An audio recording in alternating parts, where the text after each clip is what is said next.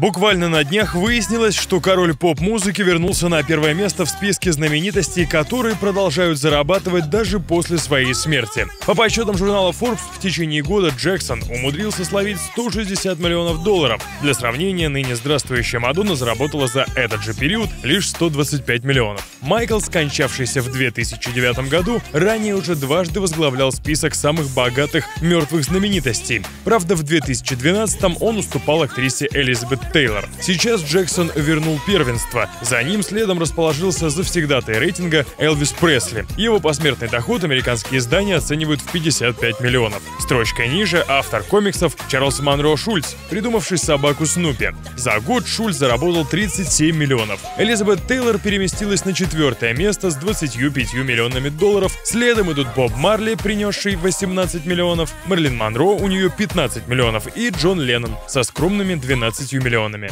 Кстати, будь Леннон жив, он наверняка порадовался бы еще одной приятной новости. Его вдова Йоко Оно окончательно примирилась с Полом Маккартни. Об этом сам экс-Битл рассказал в интервью журналу Rolling Stone. 71-летний Маккартни наконец сообразил, если Джон любил ее, то в этом должно быть что-то было. Он ведь не дураком был. Она показала Джону иной способ бытия, который привлек ее, заявил легендарный музыкант после многолетней ожесточенной вражды. В свою очередь, Йока была шокирована такими откровениями Маккартни. Я подумала, да что вы говорите, и это спустя 40 лет признается 80-летняя художница. Но вместе с тем вдова Леннона благодарна Маккартни за его слова и уверена, ему было непросто решиться на подобное откровение.